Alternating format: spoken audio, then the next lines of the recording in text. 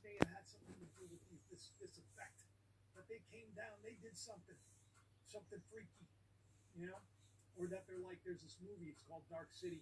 If you haven't seen Dark City, we have 1,111 people watching. I like that. Oh, and, and we're streaming for now 23 minutes. That's interesting, right? People get up. People get really excited about